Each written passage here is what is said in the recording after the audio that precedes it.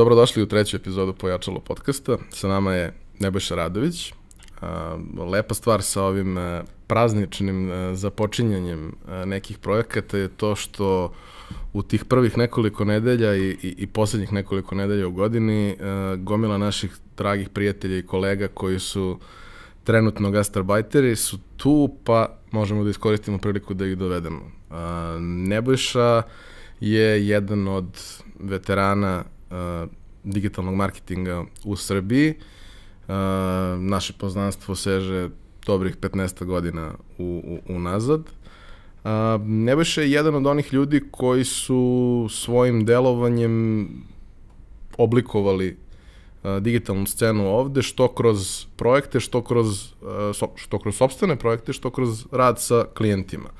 I otprilike u, u, u nekom periodu kada je izgradio svoju profesionalnu poziciju na zaista jednom visokom i, i sjajnom nivou, odlučio je da ode odavde, što nama svima nije bilo baš ovaj, pretarano jasno, a sa druge strane bilo nam je žao, pošto je Nebojša uvek bio jedan od onih uh, štimung majstora, odnosno ljudi koji su oko sebe okupljali stalno sjajnu ekipu i na neki način nas motivisali da se međusobno družimo više nego što bismo radili da, da, da njega nije bilo tu. Um, kako si otišao u Ameriku i zašto si otišao u Ameriku? Uh, pa, dobro pitanje. I, o, I baš sam skoro razmišljao o tome, nisam siguran da znam odgovor, iako sam napisao pre nego što sam otišao zašto idem u Ameriku.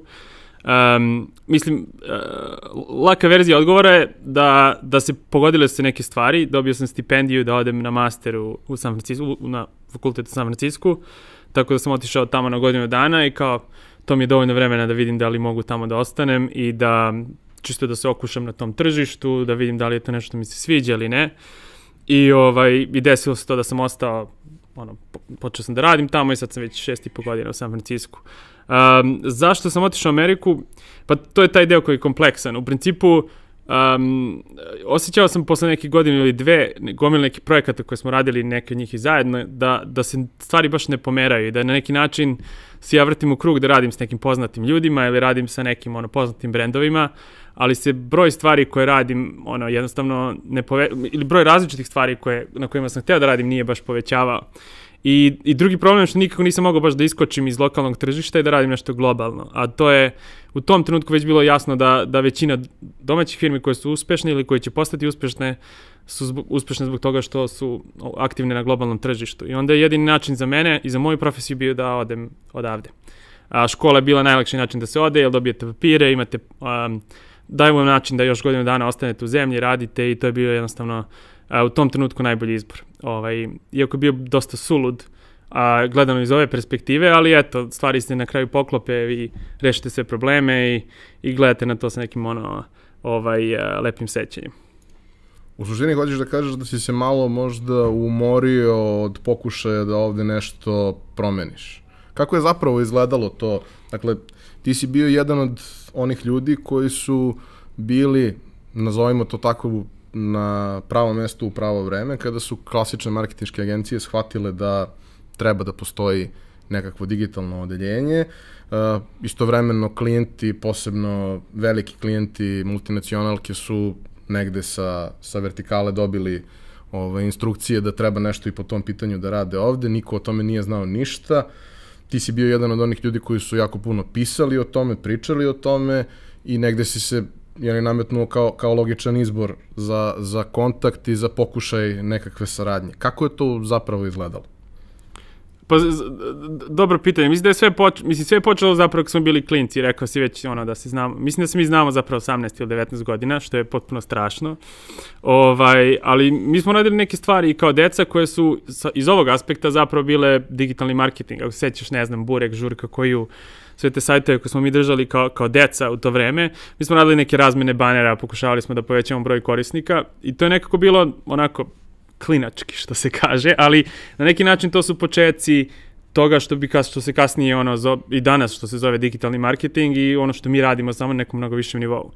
Tako da sam onda 2007. počeo da radim na Furci koja je bila prva društvena mreža ili prva ozbiljna društvena mreža ovde da bi 2008. Uh, Adria Media Srbija, koja je sad deo kurira, odnosno navodno deo uh, wireless medije od juče, koliko sam čuo, ovaj, da bi me oni kontaktirali i, i ponudili mi posao prvog online marketing menadžera u Srbiji. Znači, zbog toga svega što sam ja pisao, imao svoj blog od 2005. godine, a, zbog Twittera, Facebooka, čega god, um, jednostavno nisu postojali ljudi koji su u tom trenutku to radili, ja sam kao bio malo vidljiviji od tih klinaca koji su nešto kao znali i oni su me zaposlili i odatle manje više sve počelo. Dakle, ono, imao sam sreće da budem jedan od prvih ljudi koji su prepoznati kao online marketing ljudi u, uh, u Srbiji.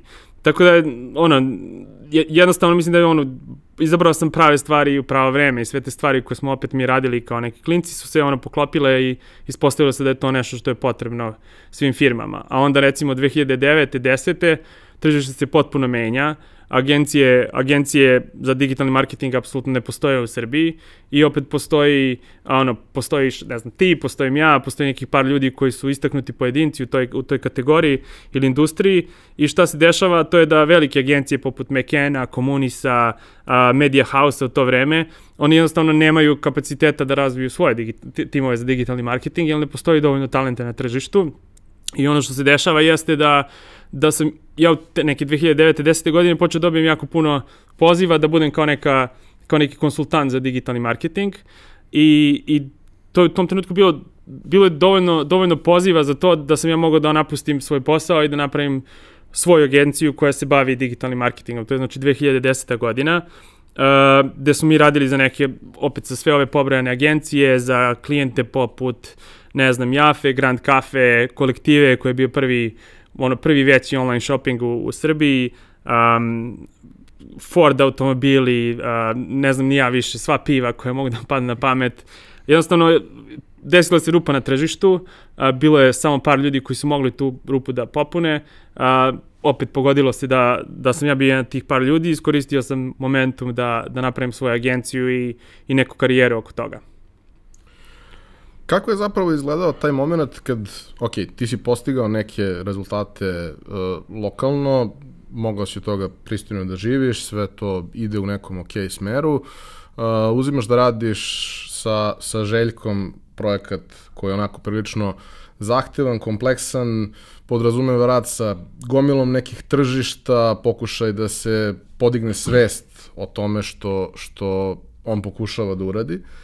Uh, i tad ti već znaš da zapravo ideš u Ameriku i da ti je to možda ono, jedna od posljednjih stvari koje ćeš raditi ovde, ali je da. izazov i, i, i interesantno je.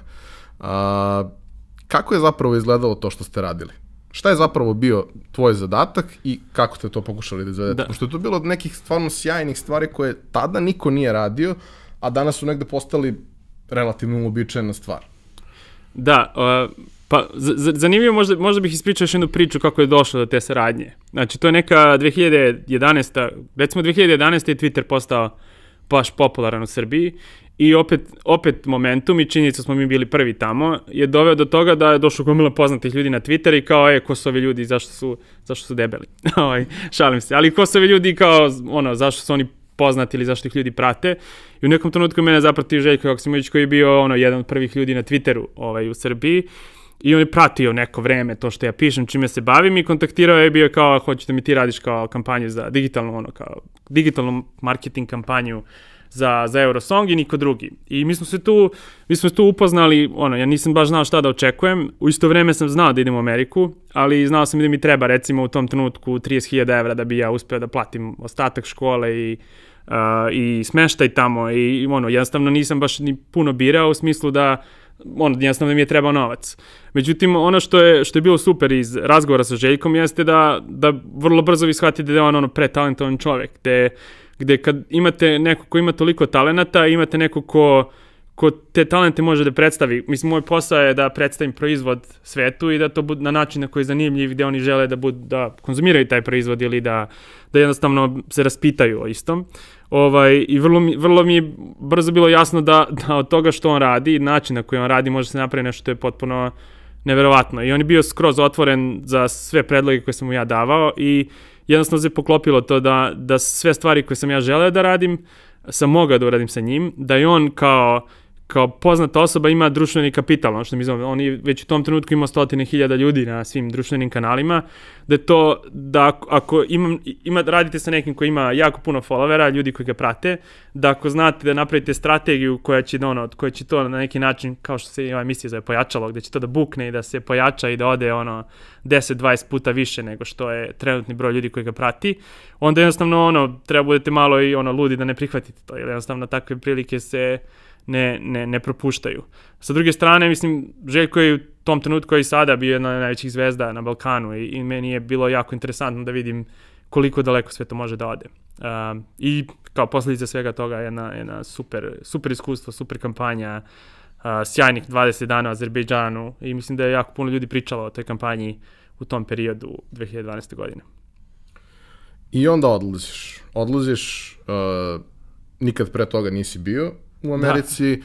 na neki način znao si makar donekle šta te čeka jer si imao prijatelje koji su već bili na haltu i dali su ti nekakav intro oko svega toga, ali kako zapravo izgleda kad ti iz Beograda sletiš u San Francisco i sve te preplavi svakom da. ulicom kojom prođeš, srećeš uh, centrale kompanija koje ovde doživljavaš kao nešto što je, da kažemo, na, najviši stupanj uh, profesionalno koji, koji možeš da dostigneš. Da, pa zanimljivo je bilo. Zanimljivo je bilo. Prva, prva, prva stvar o kojoj, recimo, nikad nisam pričao, zanimljivo je da vi odete iz Srbije gde vas svi znaju ili jako veliki ljudi broj, jako veliki broj ljudi vas zna i gde jednostavno možete sve mislim, većinu stvari možete priuštiti. Mislim, ja sam finansijski tad već bio dosta, ono, dobro stojeći, ono, ne znam, nisam nikad koristio javni prevoz, ono, ili neko vreme, ili sam mogu sve da idem peške. I onda odlazim u Ameriku da ja jednostavno više nemam para. I jako, ja sam prvih tri nedelje sve pare potrošio koje sam imao, jer vi odete u drugi sistem gde ono, da uđete u stan morate da ostavite depozit koji je veličine, ne znam, dve kirije, morate da ostavite kiriju, morate kupiti nameštaj, um, onda škola organizuje neki put u vinarije ili tako nešto.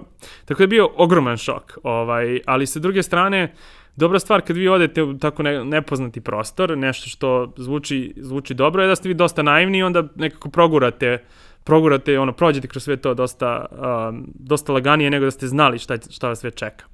Um, ono, ono što je, jednostavno ja sam otišao tamo sa puno entuzijazma, kao, kao što si rekao, tamo su Twitter, Google, Facebook, sve te velike firme, tako da u tom trenutku ja sam ono živeo te, ono, tehnologije i sanjao sam da imam svoju tehnološku kompaniju i, i svašta nešto vezano za to i onda odete na burger recimo i vidite Shona Parkera koji je ono jedan investitora u, u Facebook i bio je chief operating officer Facebooka, vidite CEO-a Twittera ono na kafi pored vas i onda jednostavno ono sve te stvari kojima sam ja jako puno čitao i maštao su počele da se dešavaju oko mene i meni, jednostavno imao sam jako puno entuzijazma i nijednog trenutka nisam razmišljao, razmišljao o tome da odustanem. Tako da me to dosta poguralo i bilo je, bilo je, ovaj, bilo je jako izazovno, ali opet jako zanimljivo i, i zbog toga sam i dalje tu. Um, međutim, postoji puno problema kad vi odete što jednostavno baš ti sam, jednostavno navikneš da ovde ti ljudi znaju i da na neki način prepoznaju to što ti radiš i odlaziš odjednom na neko novo tržište da te niko ne zna, gde imaš neko ime, ne bojiš, mislim, koje niko ne može da izgovori, gde niko neće da priča sa tobom, ja si student, i ovaj, počne ta neka borba ono, sa koja, koju nije lako dobiti, gde vi morate ponovo da se izgradite i morate tu svoju suetu da šutnete onako po tepih i da krenete od nule, da se, ovaj, da se izgrađujete kao profesionalac, što je zanimljivo, ali opet eh, nije lako. Kako je uopšte izgledao uh, halt, uh, odnosno uh, učenje u tom nekom sistemu, ti si ovde završio FON da. i FON uh, spada jeli, u fakultete koji su relativno uh, aktuelni po pitanju onoga šta se uči i uh, vrlo uh, kvalitetni po pitanju kadra, dakle prilično dobar intro u, u, u poslovni svet si mogao da dobiješ kroz fakultet, ali sada ideš u neki potpuno drugačiji sistem, gde, ok, to je jedna od najboljih poslovnih škola na svetu i tu su i profesori i tvoje kolege, neki ljudi koji će, koji su oblikovali ili će oblikovati ono, landscape raznih industrija, između ostalog i one u kojoj si ti. Da. Pa, mislim, razlika je stvarno nebo i zemlja. I to ne zato što je kao fon loš fakultet, naprotiv. Razlika je zapravo u načinu na koji se studira. Uh, koji, I tu ima neke dve, kao dve različite kategorije. Jedna je da su uh, kako se zove, regularne studije, znači ne postdiplomske, one, su, one se dosta baziraju na učenju samom, gde vi učite da abstrahujete informacije, da se fokusirate samo na stvari koje su bitne, da učite stvari koje možda i ne trebaju, ovaj, ali jednostavno učite da učite. A sa druge strane, poslovne škole se mnogo više fokusiraju na neki networking, na razvoj takozvanih soft skillsa, znači da umete da, da imate mogućnost ono, prezentovanja, da znate kako da prodate klijentu određene usluge a, i HALT kao mislim, već nekoliko godina za redom je škola sa naj, najmeđunarodnijim uh, karakterom, iako to malo nakradno zvuči. Jednostavno, kod mene, u, kod mene u mom odeljenju je bilo ljudi iz, recimo, 35 zemalja, u mojoj generaciji je bilo uh, uh, ljudi iz 105 zemalja, znači puno se fokusa daje na učenju kako da radite, kako da radite sa ljudima iz drugih zemalja. Uh, I to je jednostavno nešto što škole ovde nemaju, a što je jako bitno i to je, to je jedno od najvećih saznanja koje sam ja dobio u toj prvoj godini na Haltu, a to je da vi kad radite sa kinezima, recimo imate potpuno drugačiji način komunikacije a, u odnosu na ljude koji su, na ljude u Americi, koji su opet mnogo bližni nama. A, ljudi iz Evrope su potpuno slični ljudima iz Srbije, slične navike, isto kukaju. A, znači jednostavno, jednostavno shvatite da postoje određeni neki aršini ponašanja u svakoj ovaj, socijalnoj grupi koje vi morate da razumete da biste uspeli da radite sa tim um, sa tim grupama. Tako da sad ja ako hoću da odem u Kinu da, da otvorim firmu, mnogo bi bilo lakše nego da sam to radio iz Srbije, jer jednostavno kulturološke razlike su dosta velike. Tako da jedan od fokusa Halta jeste da se stave u grupu, ja sam imao recimo dva kineza u svojoj grupi koji ne znaju da pišu, ne znaju da pričaju i na koji način ti možeš da funkcionišeš kao tim sa takvim ljudima. A s druge strane, oni su jako, jako dobro razumeli svoje tržište, jako su dobri recimo u matematici ili tako nekim, stvar, nekim stvarima, da vi jednostavno morate da se snalazite i da, da pomognete njima da postanu bolji u, u nekim stvarima, a s druge strane da izvučete maksimum njih u smislu toga što oni znaju. Tako da je to jedno, jedno strava iskustvo, ali sa druge strane vi na Haltu konkretno ne, ne uči se puno. Znači ja nisam imao ono, ne znam, knjige od 500 strana gdje treba 10 dana da sedim ili mesec dana da sedim i da učim definicije ovaj, ne znam, ono, politike cena ili tako nečega, ovaj, o čemu sam učio jako puno na fonu. Jednostavno sve se radi kroz testove, sve se radi kroz projekte, kroz rad sa drugim ljudima, kroz rad sa ljudima iz drugih kultura i onda vi završite školu, imate osjećaj da ništa niste naučili, a zapravo ste ono potpuno promenjeni ono u način na koji razmišljate i na način u koji, koji pristupate poslu. I mislim da, da sa tog aspekta je HALT bio jedna sjajna investicija ovaj, i da da jednostavno tad nisam razumeo na početku, ali da eto 5-6 godina kasnije i kad, kad recimo ovaj, pričam sa ljudima koji odavde pokušavaju nešto među, da urade na međunarodnom tržištu, shvatim da su to nek, da neka znanja koje su meni sad ono kao logična, da njima nisu logična čisto zato što nikad nisu, nikad nisu ono radili sa indicima, nikad nisu, ne znam, bili u Kini ili tako nešto, a to ne možete da, to ne možete ovaj, da, da naučite tako što ste na, ono, gledajte na YouTube-u. Ima ona čujena scena iz uh, Dobri Will Hunting, ako se sećaš, ti vjerojatno se sećaš kad Robbie Williams i, i Matt Damon ovaj, uh, se svađaju na klupi i kad on njemu objašnjava kako ono, ne znam, ne možeš da osjetiš, ne znam, kako, ono, kako miriš u slike u Sixtinskoj kapeli ili, mislim, ne znam sad, parafraziram malo. Uglavnom, za neke stvari, ja znam, ne, neke stvari ne možete da naučite tako što gledate na YouTube ili čitate knjige, već jednostavno morate pravo vatru da, da se suočite sa problemima i sa ljudima i HALT je škola koja je napravljena oko tog koncepta. Um, to se zove iskustveno učenje ili experiential learning i to je nešto na što se poslovne škole jako puno fokusiraju u prethodnih par godina. I u onom trenutku kada ti završavaš HALT, uh, po uh, papirima koje si dobio imaš uh, pravo godinu dana da, da, da ostaneš u Americi i da radiš. I završio si školu, ok, tokom škole si da. radio po nešto, ali sada je trenutak da kreneš da radiš nešto ozbiljno, sada je trenutak da nađeš svoje mesto u, u, u tom sistemu. Šta se dešava? Pa dešava se dosta stvari. Dešava se to da uh, da sam ja student koji ima papire samo na godinu dana i da ljudi jednostavno neće da zaposle. Ovaj, I sad, mislim, ljudi koji mene znaju, znaju da, ono, ja znam svašta nešto da radim. Mogu da budem dizajner, mogu da budem, ono, da se bavim marketingom, mogu da se bavim nekim programiranjem, šta god. Uh, Međutim, Amerika je zemlja sistema i procesa i tamo ljudi koji su svaštare ovaj, ne prođu generalno dobro. Već morate imati jedan konkretan ono set, set veština koji, možete, koji prodajete i onda se fokusirate na to. Tako da sam ja počeo da se intervjuišem za, uh, za ono, par kompanija, ali to nije baš išlo sjajno. shvatio sam već tada da želim da se bavim marketingom, ja sam završio međunarodni marketing na Haltu. Shvatio sam već tada da, da ono, da otprilike interesantne su mi mobilne aplikacije iz razloga što su svi imali mobilne telefone i to je industrija koja raste. I onda sam ja pokušavao, aplicirao sam, ne znam, u par velikih kompanija, ali to je jako sporo išlo. Mislim, ja u isto vreme imam 90 dana da nađem posao, tako da ono, sad, sad polako, sad kuca i ono, čini me nervoznim. Ovaj, tako da sam ja počeo negde polovinom septembra da tražim posao i intervjuisao sam se nekih 4-5 kompanija, ali to sve jako sporo išlo. Ja sam ostao skroz bez para, naravno, ovaj, jer nisam radio. Uh, živao sam kod kumova sadašnjih i bilo je jako interesantno i jako stresno. Um, I onda sam u nekom trenutku aplicirao da radim u Supercellu, koji je ono, sada najuspešnija kompanija za mobilne, uh, za mobilne igre.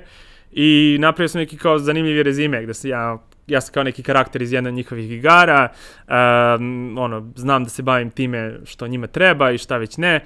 Oni su verovatno taj CV bacili negde, nikad ga nisu ni pogledali, iako smo pričali posle nekih par godina posle toga o tome. Ovaj, u svakom slučaju ja sam aplicirao, oni mi nisu ni odgovorili, ali sam okačio taj zanimljivi rezime na, na Facebook i javim se Branko iz Nordeusa koji je bio u fazonu kao, e, tebra, kao, a što ti ne radiš za nas? I ovaj, Pa rekao, nemam pojma, ne vraćam mi se u Srbiju, dugujem ono, jako puno para zbog godinu dana života u San Francisku i ono, svega što je, što je išlo s tim. I kao, pa veze, radi San Francisco. Ovaj, mislim, tako da Branko je ono stvarno, mislim, on je puno pomogao u cijelom procesu, mi se znamo i pre, pre nego što je Nordes bio velika firma i pre nego što sam ja radio tamo. I kao, ma ne, kao, dođi, ajde kao, te intervjuišemo sutra, ono, i ovaj, ako sve bude okej, okay, dođi kao sledeće nedelje u Srbiju.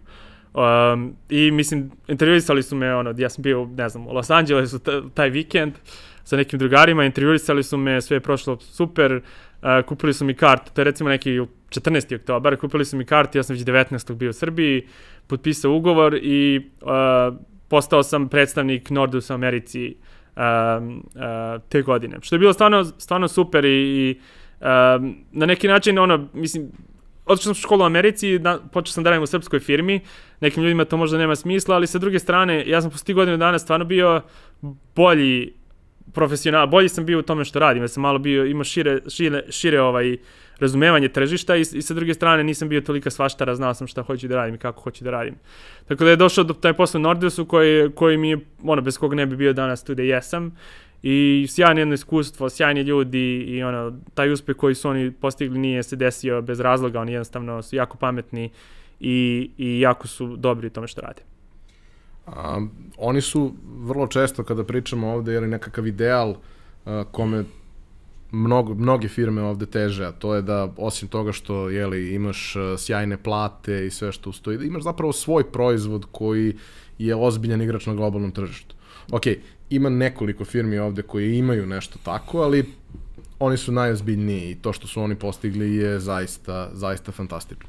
E sad, kako izgleda, posebno za tebe koji si faktički većinu vremena uh, 10.000 km daleko, da. a, kako izgleda rad u, u jednoj takvoj relativno maloj firmi koja pravi rezultat na, na, na globalnom nivou? Pa izgleda, mislim, ono što je meni bilo prva, prva ovaj, neka impresija Nordeusa jeste da, da način, i kasnije kad sam otišao iz Nordeusa, neke firme koje su mnogo veće od Nordeusa i više novca prave, jeste bila da način na koji oni rade stvari, stvari je, je vrlo aktualni. Rade na isti način kao što to radi Facebook ili neke velike firme. Meni je to bilo jako impresivno. Uh, kvalitet talenta, tehničkog talenta koji Nordes ima je jako dobar. Uh, znači, programeri i ljudi koji, koji tamo rade, gde oni održ, u tom trenutku su održavali servere za nekih, ne znam, 5 miliona ljudi koji su svaki dan igrali igru i, ne znam, 12 miliona ljudi koji su mesečno igrali igru. Mislim, to su, vi nemate, ja ni, nisam mogao ni da, ono, da, da kao da procesiram informaciju da može da postoji toliko igrača na jednom mestu, a ne da kao postoje ljudi koji mogu da naprave nešto što će toliko ljudi da igra. Međutim, oni su, Nordeus je jednostavno bio jako dobro nalažen i jako pametnih ljudi koji su mogli brzo da uče i koji su mogli da pohvataju neke informacije, stvari, principe, procese ovaj, strani kompanija i da ih implementiraju ovde. Tako da, jednostavno, oni su, ono što je, ono što je strava kod Nordus jeste da ono kao, oni su našli ljude koji su mogli da naprave igru koju igra toliko puno ljudi.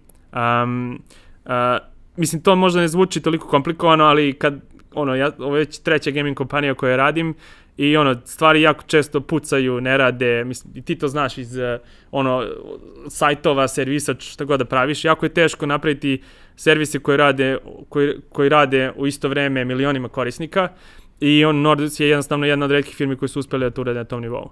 Um, nadam se da sam odgovorio na, na pitanje. Ko... Sa druge strane, u tom nekom periodu u koji si ti tu, uh, Nordus je dostigao jako visok nivo. Da. I onda se neko vreme ništa krupno nije dešavalo. Sad kao, to je trenutak kad ideš na ono, level up ili se na neki način uh, menja, unapređuje to što se dešava, a opet na toj skali, na toj količini da. korisnika je to nezamislivo komplikovano. Uh, kako takva stvar s, uh, uh, može da se uopšte uradi u, u, u jednom sistemu? Da znači, se izbaci drugi proizvod. Pa i da se izbaci drugi proizvod, da se izbaci unapređena verzija ovog proizvoda i da se nekako i jedno i drugo iskoordiniše, a opet nemaš preogroman broj ljudi koji, koji rade na tome. Imaš zapravo vrlo ograničen broj ljudi, fantastičnih ljudi, ali i dalje mali broj njih koji, koji mogu da rade na tome. Pa jako je teško. E, gotovo je nemoguće zapravo. E, i mislim da je to razlog zašto, zašto i treba toliko vremena da se izbaci druga igra koja je velika. E, teško je iz razloga što nema puno ljudi na svetu koji se time bave. Znači, ovo mi, čime se ja bavim, ne znam, mobilni marketing, gde, su, gde vi trošite, ne znam, milione dolara mesečno, tu ima možda 100 ljudi na svetu koji se time bave na tom nivou.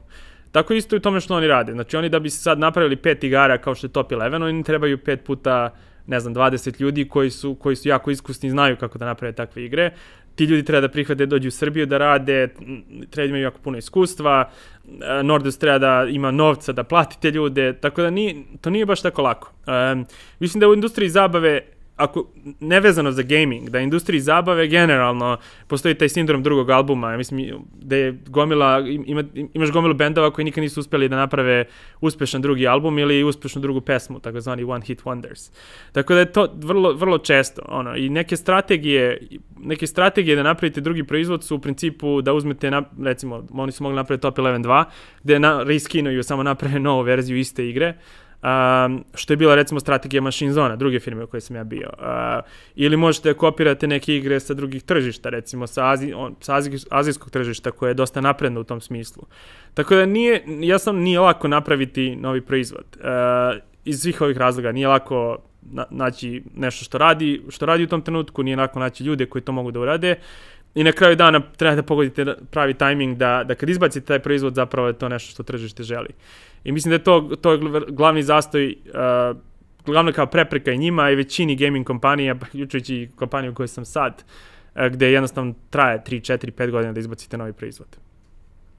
A jedan takođe vrlo uh, neobičan aspekt uh, Nordeusovog poslovanja mm -hmm. je moment da uh, ti praviš igru koja je planetarno popularna, koju igraju milioni igrača, da ali koje je zapravo Amerika kao ubedljivo najveće i najbogatije tržište nije fokus, jer Amerikanci ne igraju futbol i ne razumeju futbol. Ok, Amerika je veoma heterogena, postoji gomila naroda i sa, sa neke druge strane postoji prosto gomila ljudi i sasvim je dovoljno da neke nacije koje to prate pokupe to da to bude uspešno.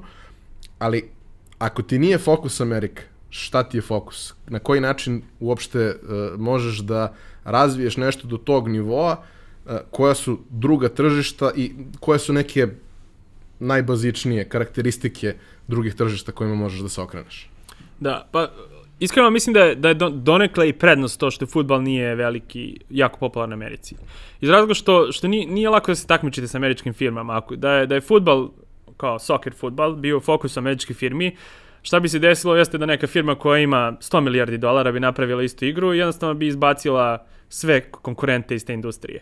Ovako zbog toga što taj, taj, taj sport nije toliko popularan, jednostavno nije u fokusu bio ovaj, uh, nije bio u fokusu američke kompanije, na neki način dozvolio i da, da Nordus i Top 11 budu toliko, toliko uspešni.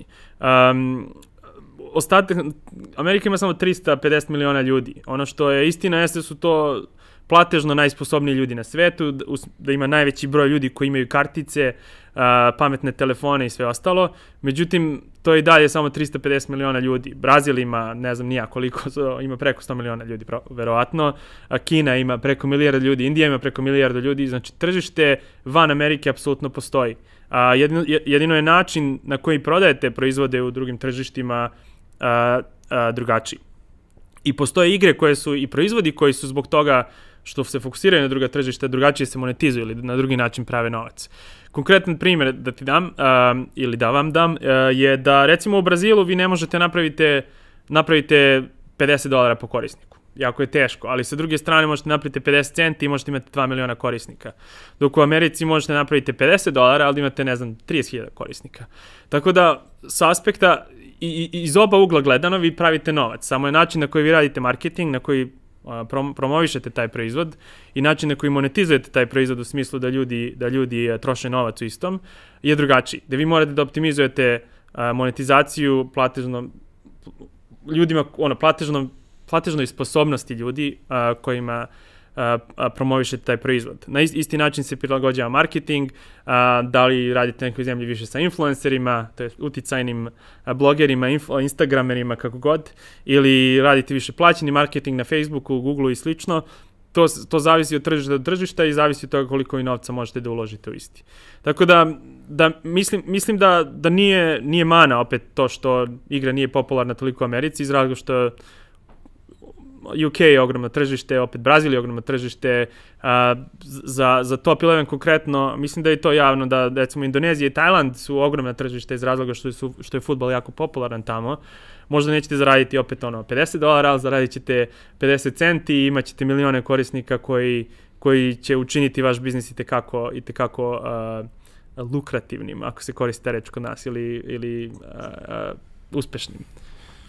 A, hajde samo da te uh, spustim koju stepenicu niže, čisto da, da, da, da objasnimo uh, stvari, jer prosto uh, nisu svi koji će ovo slušati um, na istom nivou poimanja stvari.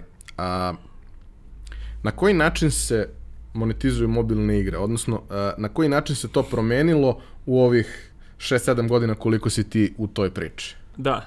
Um, mobilne igre se dva, postoje dva dominantna načina monetizacije. Jedan je kroz in-app purchase, znači da vi kupite neke, nek, neku valutu u samoj igri i onda sa tom valutom kupujete određene određene stvari u igri, da li su to karte, da li su to igrači u slučaju Top 11 da li na neki način hoćete sačuvate vreme ako vam se gradi neka zgrada u igri i hoćete da bude gotova za sat vremena umesto za tri dana. Um, znači to... osnovna igra je besplatna. Osnovna igra je besplatna. Um, uh, znači to se zove free to play ili besplatno da downloadujete ili igrate, ali ako hoćete napredne, napredne ovaj, neke uh, feature morate da morate da platite. Ili ako hoćete da uštedite vreme. Um, drugi način monetizacije je kroz oglašavanje, na isti način na koji se kod nas većina sajtova, većina nekih ono online, uh, online kao medija monetizuje, gde vi jednostavno imate oglašivače koji plaćaju da budu prisutni u vašem proizvodu. Um, opet zavisno od toga kakav je proizvod, neke igre se više monetizuju kroz oglase, neke se više monetizuju kroz plaćanje u samoj igri. Um, jer to... A vrlo često su oba modela prisutna. Apsolutno, da. Zato što iz, oba modela su prisutna iz razloga što neki ljudi ne žele da troše novac u igri. Uh, znači, to je klasičan freemium model koji postoji u svim ostalim industrijama, uh, gde vi jednostavno imate korisnike koji hoće da plate za više nekih ono, usluga i gde imate korisnike koji jednostavno dolaze i neće da potroše ništa, ali možete da ih da izvučete neki novac od njih kroz, kroz oglašavanje. E, na primjer, ako hoćete da dobijete, ne znam, besplatno, opet nekog besplatnog igrača u igri, vi možete pogledati oglas od 30 sekundi i, i e, kompanija koja pravi tu igru dobije 1 cent od tog pregleda. A, a vi dobijete nešto u okviru igre. Da, tako je. Međutim, u igrama koje imaju milione korisnika, a, te kompanije optimizuju da vi vidite što više oglasa, tako da vi, recimo ja igram neku igru koja se zove Merge Planes, koja je jako prosta igra, gde ja dnevno pogledam 5 ili 10 oglasa, tako da oni naprave 10 centi dnevno od mene što gledam te oglase, puta 30 dana, to je, to je 3 dolara. Mislim, ja opet nisam prosječan korisnik te igre, ali jednostavno postoji način da vi izvučete neki novac od tih ljudi. A, to mogu biti deca koji nemaju kartice, to mogu biti korisnici u zemljama gde kartice nisu toliko rasprostranjene ili ne postoji iTunes, a, kao što je, na primjer, Srbija. Tako da postoje različiti načini monetizovanja i oni su obično a, specifični a, a, za tržište na kom, se, na kom je vaš proizvod a, prisutan. A, današnji giganti u uh, gamingu su se dominantno okrenuli mobilnim igrama, dobrim delom i iz razloga što za razliku od toga kako je to jeli, bilo prethodnih 30 godina gde ti platiš igru, ona te košta neku značajnu količinu novca, ali se tu otprilike svaka dalja priča završava, odnosno novac se daje jednom, kompanija prihoduje jednom i tu ta igra može da se igra beskonačno. Uh, sada ti zapravo imaš mogućnost uh, otprilike slično na način na koji je Apple postavio stvari sa, sa iPhone-om, da. da konstantno prihoduješ od igrača pod uslovom da je njemu to jeli, interesantno, da on i dalje to želi da igra, ali da imaš mogućnost da taj neki uh, uh, period uh, u kome ubiraš novac od svog igrača bude gotovo beskonačan. Tako je, da. Uh, mislim, to zavisi od, od mehanika u igri, da li ti u igri samo imaš imaš dovoljno sadržaja da može da igraš beskonačno, ali ako imate načine da zadržite igrače u, u igri, onda možete beskonačno da ih monetizujete. Uh, najuspešnije mobilne igre imaju korisnike koji troše milione dolara u istim igrama. To su javne informacije, možete nađete na VentureBeatu ili bilo kom, bilo kom sajtu koji piše o mobilnim igrama, da jednostavno ljub, imate ljude koji imaju novca, dođu, nemaju vremena i ne žele, ono, jako su kompetitivni, uh, nemaju vremena da se sad tu bave nekim dosadnim ovaj dosadnim takozvanim grindovanjem da ono traže da traže neke ovaj besplatne načine da dobiju te iste karte samo dođu i potroše jako puno jako puno novca. Um, imate ono princeve iz prinčeve iz uh, Saudijske Arabije, uh, gomilu nekih uspešnih preduzetnika, sportista koji su potrošili ogromne sume novca u igrama. Uh, igre se danas prave da imaju dubinu takozvanu gde vi jednostavno možete potrošiti beskonačno novca tako što kupujete neke ra raznorazne stvari u samoj igri. Uh, to je to je tačno da to nije bio uh, to nije bila situacija ili to nije bio slučaj u, u konzolnoj industriji, gde vi jednostavno kupite igru, ne znam, FIFA 19, platite 30 dolara i to je to. Međutim, i oni se okreću ka nekoj kombinaciji, uh, kombinaciji tog platiti da dobiješ disk i free to play, gde vi jednostavno možete kupiti neke dodatne, dodatne ovaj, uh, mogućnosti u igri tako što platite uh, i posle kupovine igre. A uh, poseban uh, aspekt uh, cele stvari je da na neki način uh, mora da se igra na više frontova istovremeno, odnosno da moraš da pokušaš da stvar učiniš i održiš dovoljno masovnom, dovoljno popularnom. Sa druge strane, da, jeli, da bi došao do toga, ona mora da bude dovoljno interesantna i, i, i onima koji neće trošiti uopšte novac ili će ga trošiti vrlo malo, a da napraviš i dobar odnos uh, toga šta, šta dobije korisnik uh, koji, koji kreće da, da investira, a da ostane opet jeli, i nešto iza onoga ko, ko uh, ne želi, ko hoće da investira samo svoje vreme, ne želi da investira svoj novac. Da. Pa to, to je jako kompleksno. Mislim, da, vratili smo, pričao sam malo pre o tome kako je teško naći ljudi koji to znaju da rade. Um, mislim, kod mene u trenutnoj firmi koja se zove Network, znači ljudi koji to rade imaju više godišnje iskustvo u tome i to je to je kombinacija određenih veština koje ne, jednostavno ne možete da nađete. To su ljudi koji su matematičari i on napravi su pet igara pre toga i razumeju a, marketing i psihologiju i svašta nešto u isto vreme. Ja, jako, jako je kompleksno a, napraviti proizvod koji isto vreme zadovoljava ogromne količine korisnika kojima je super da potroše pare i, bit, i srećni su da potroše pare u igri i u isto vreme da, da korisnici koji ne žele da potroše pare ili jednostavno ne mogu, jer su možda mlađi igrači ili nemaju način ili nemaju kartice, ovaj, ne napusti igru zbog toga što nisu dovoljno kompetitivni i ne mogu da potroše isto novce kao neki drugi igrači. Um, u industriji igara postoji koncept koji se zove pay to win, Znači, to su igre koje jednostavno omogućavaju ljudima koji imaju novac da budu mnogo bolji od ostalih. I to je jedan, jedan, način, jedan od sigurnih načina da vaša igra da vaša igra ono nestane sa tržišta ili umre, jer jednostavno ako, ako korisnici koji nemaju novca nisu dovoljno e, zainteresovani za igru, igra nije dovoljno kompetitivna, a, ljudi se ne takmiče, automatski ako nema takmičenja ljudi ono ne žele da troše toliko novca, ovaj, i onda i vaš proizvod a, nesta, je, nije održiv ono, ili nije dugoročno održiv. A, jedna od a, lepih stvari u, u poslu kojom se baviš a, je to što si imao prilike da sarađuješ sa ljudima koji su jeli, nešto da. što je stuff dreams are made of. Da. A, dok si bio u Nordeusu, snimao si reklamu sa Mourinhom. Da. Kad si bio u Machine Zone, radio si sa Schwarzeneggerom. Da. A, kako izgleda to iskustvo?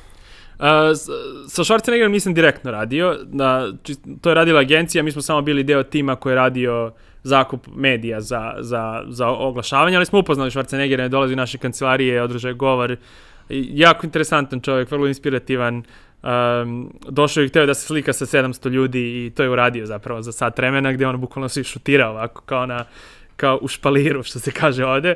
Um, tako, vrlo jedan interesantan čovjek, veliki profesionalac. Ja sam se iznenadio koliko je on naučio igre. On je igrao samo igru. On je nas predstavljao na Super Bowlu gde je pričao o igri. Smo imali dve Super Bowl reklame za redom. Što isto je jedan sjajna stvar, sjajno iskustvo.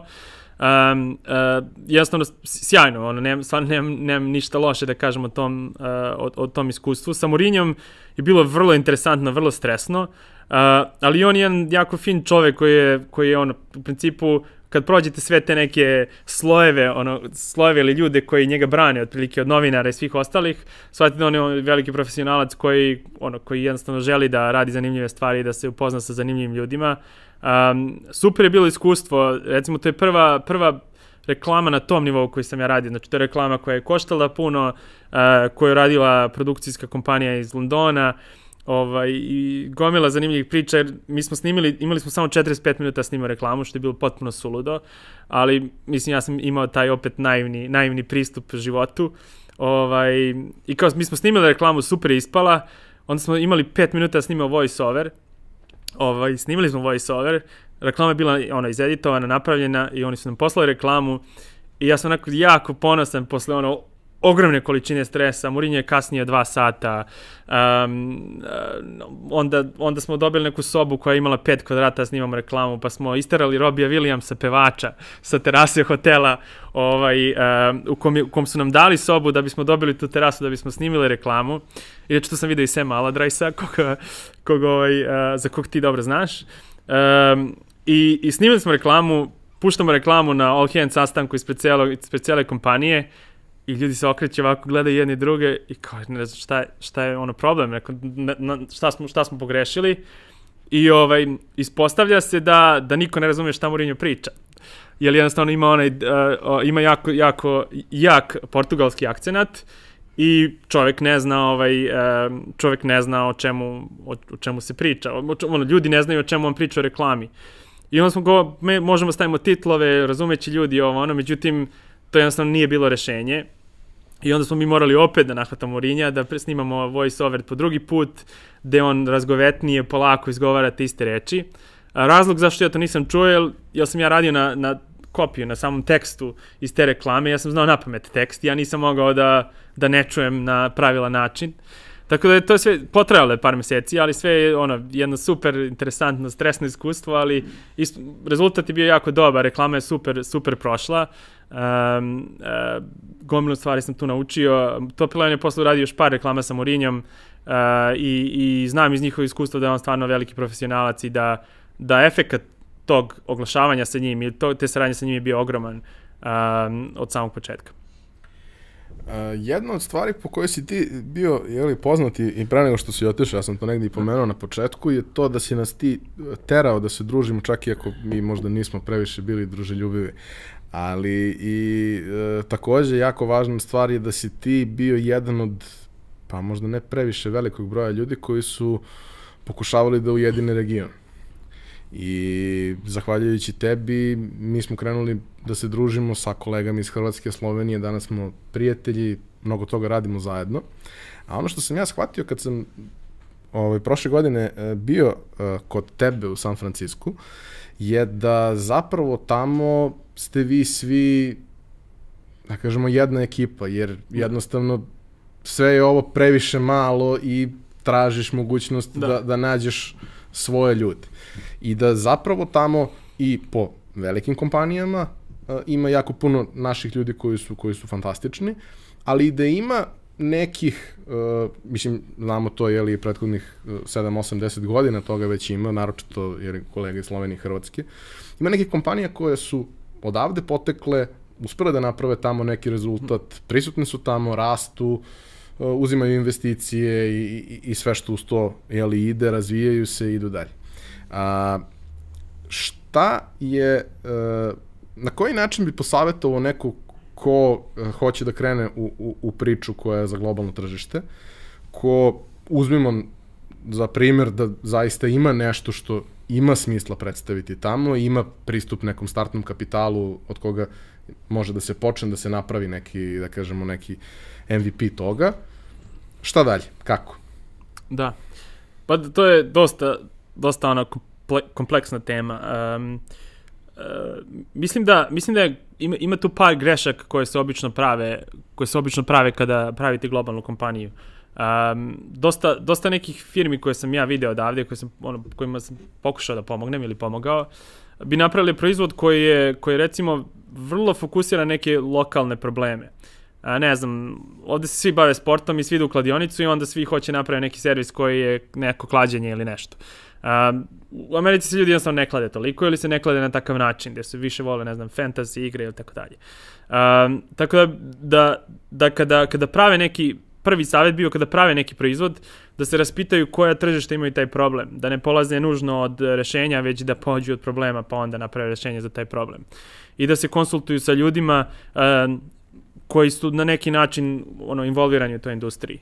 Um, ljudi, ljudi koji tamo žive su otvoreni da pomognu, međutim problem sa kompanijama koji dolaze u San Francisco, a meni godišnje dođe, ti to znaš, bio si, meni dođe minimum 100 ljudi u San Francisco, mislim, ja, ja ni na kraju pameti mi nije bilo da toliko ljudi zapravo dolazi.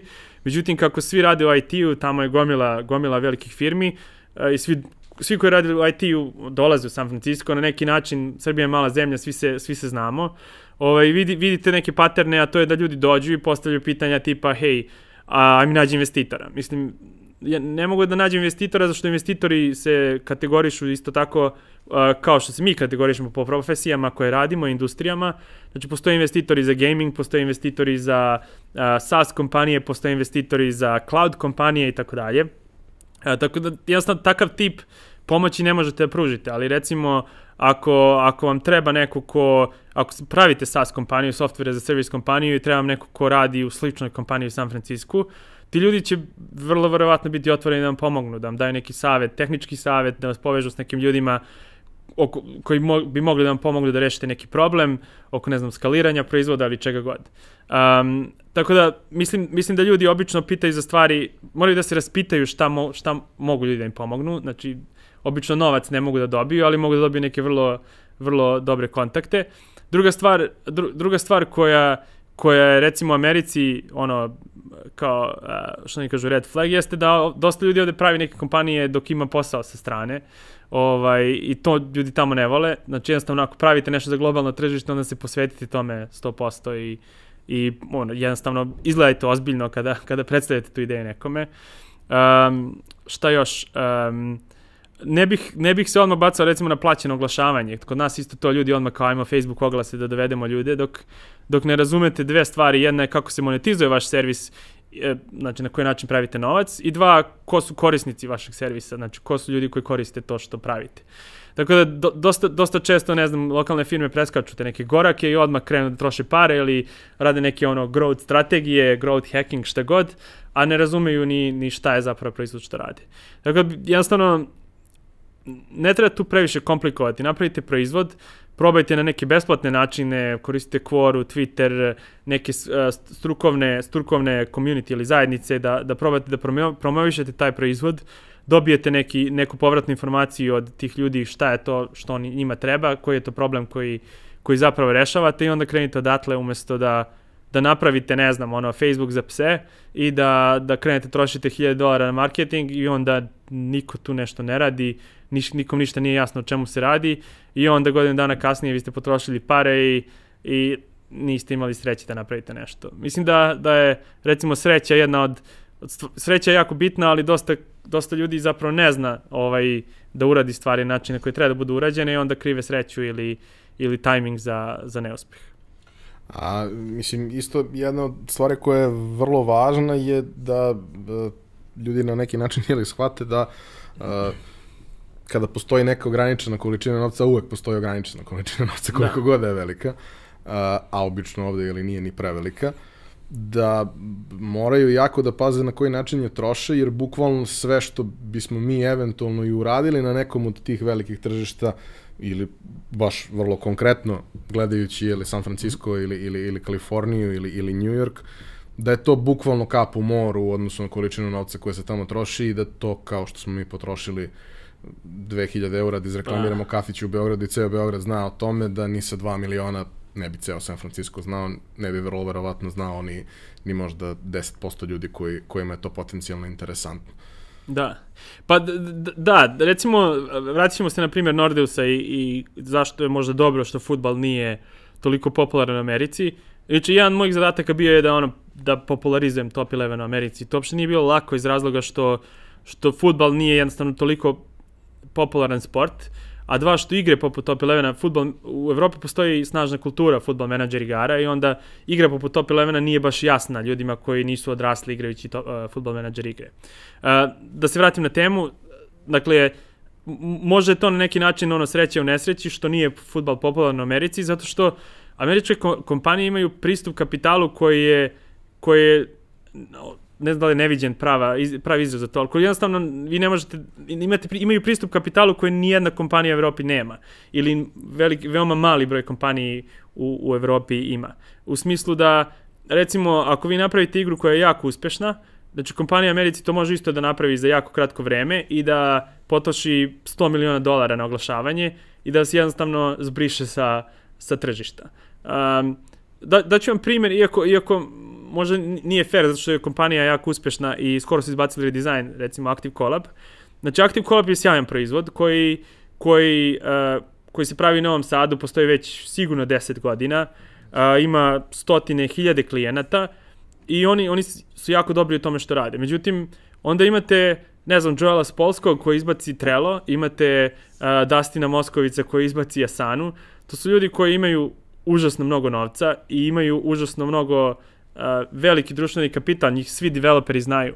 I sad vi dođete Dustin Moskvic koji ima, ne znam, 20 milijardi dolara na računu, on napravi svoju verziju Active Collaba i potroši milijarde dolara da is, is, is, ispromoviše tu, taj, taj servis, mnogo je teško da se vi takmičite s tim, s tom osobom. I to je, to je zapravo jedna od, od, od ono, javnih tajni biznisa, jednostavno da veliki jedu, jeste ono, brzi jedu spore, ali i veliki jedu uh, veliki jedu male samo zato što imaju taj neki momentum i mogu da mnogo agresivnije pristupe tržištu nego što je slučaj sa malim kompanijama.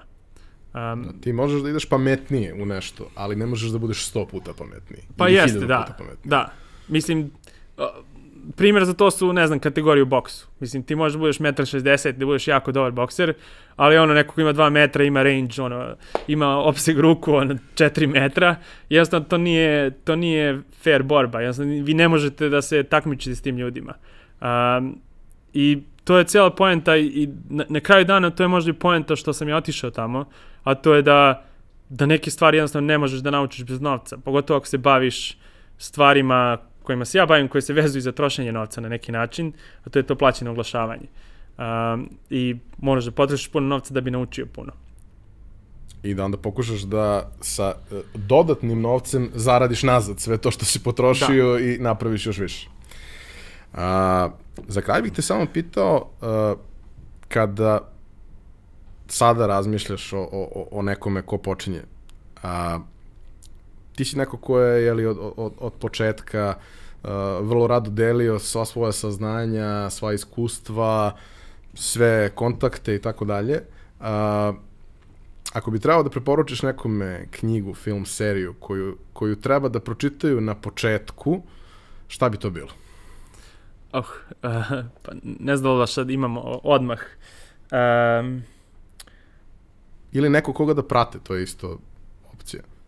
Da, Pa mi, mislim, moj generalno savjet je da, mislim, kad iz ove perspektive gledajući, mislim kad si mlad, da ti vreme ne vredi ništa i da treba da se fokusiraš jednostavno što više na to da daš što više zajednici i da, da nek, na neki način naučiš što više kroz to, kroz taj neki rad kroz zajednicu i da budeš nesebičan, pomogneš, radiš sa ljudima na zanimljivim projektima i ne fokusiraš se na novac.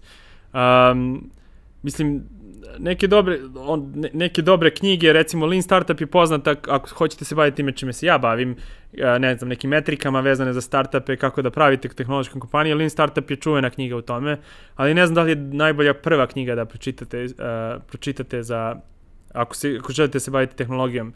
Pokušavam da, mislim ja sam pročitao dosta knjiga što je najgore, ali, ali ne, ne znam ovaj, baš sad na uh, ovako odjednom koje bi bile koje bi bile uh, najbolje za, za preporučiti. Možda mogu da u nekim ono, uh, u samom opisu podcasta podelim par knjiga koje su super. Cool. Um, ako mi padne na pamet uh, u narednih 30 sekundi reći ću. Cool. Uh, hvala ti što si bio. Uh, nadam se da ti je bilo lepo za praznike, da je ruska salata bila dobra da. i sve što uz to ide. Uh, I nadam se da je ovo bilo tvoje prvo gostovanje, ali, ali ne i poslednje. Uh, dragi slušalci, kao i do sada, molim vas da sve svoje komentare, sugestije, predloge pošaljete putem društvenih mreža, mi ćemo se i dalje truditi da radimo neke sjajne stvari sa sjajnim ljudima kao što ne biš. Hvala i tebi na pozivu i celoj ekipi.